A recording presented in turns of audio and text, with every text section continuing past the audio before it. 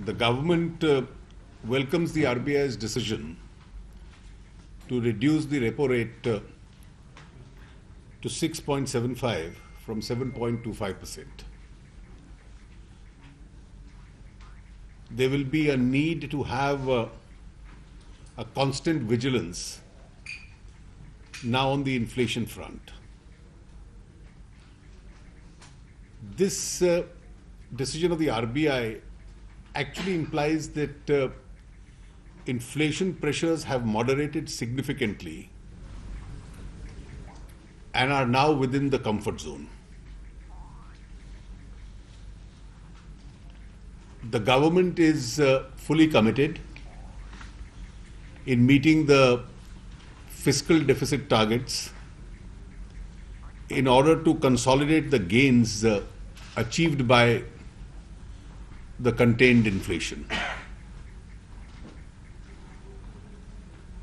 This decision of the RBI will significantly provide policy support to the real economy and help in the recovery process.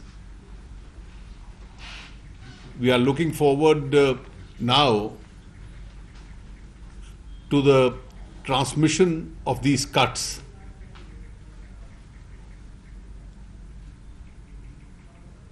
which will uh, effectively help to boost confidence and investment.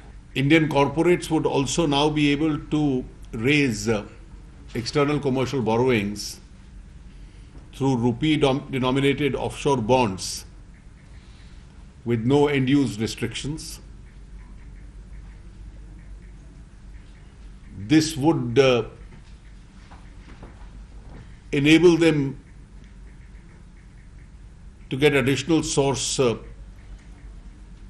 of resources.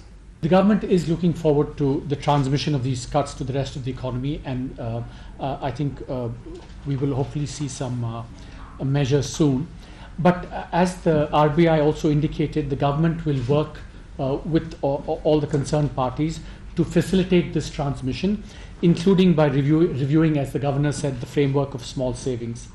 Um, the, the, second point, and it's related to what uh, the secretary just said, is that part of the transmission of monetary policy, you know, part of it works through, you know, uh, what the banks are going to do, but part of it also has to work through how market rates themselves come down, and that's why increasing the the GSEC limits uh, is is part of you know bringing down market rates. Uh, you know, help GSEC rates come down, and therefore uh, uh, this will also happen. The. The, the, the third point to note also is that I, I think the boost to the economy will obviously come from the confidence and investment that comes from the rate cut, but also, you know, uh, the uh, RBI has clearly signaled that it still continues to be in an accommodative policy stance, uh, so that you know that should also reinforce confidence and hope that there can be more investment going forward.